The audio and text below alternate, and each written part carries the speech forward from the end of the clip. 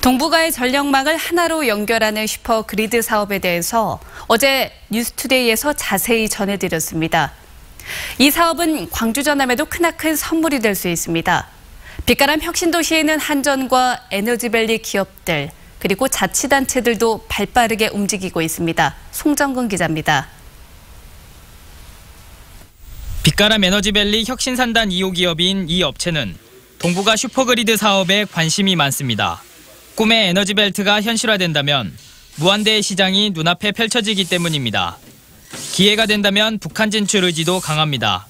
저희들이 올라가게 된다 하면은 또 실현만 된다 하면은 저희 이 나주 혁신산단 에너지밸리 기업들은 무조건 진출합니다.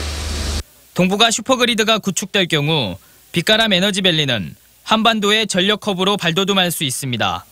에너지밸리에는 현재 310개 기업이 투자 의향을 밝혔고 이 가운데 60%인 186곳이 입주를 완료해 핵심 역할이 기대됩니다. 한전과 더불어 어, 경제협력에 참여할 수 있는 그런 기회가 많이 있을 걸로 알고 그로 인해서 이 지역이 더욱 어, 발전할 수 있을 거라 생각합니다. 지난해 대선 때 동북아 슈퍼그리드를 지역 공약으로 발굴해 건의했던 전라남도는 사업 선점을 노리고 있습니다.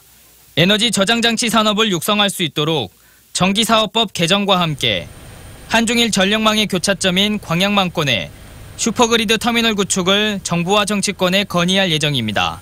이 광주 나주 혁신도시 지역 경제와 새로운 entrepreneurship, 이 기업가 정신을 북돋우는데 큰 어, 동력이 될 걸로 저희 기대합니다. 조만간 국가 사업으로 부상할 수 있는 동북아 슈퍼그리드가 지역 경제의 축복의 기회로 다가오고 있습니다. MBC 뉴스 송정근입니다.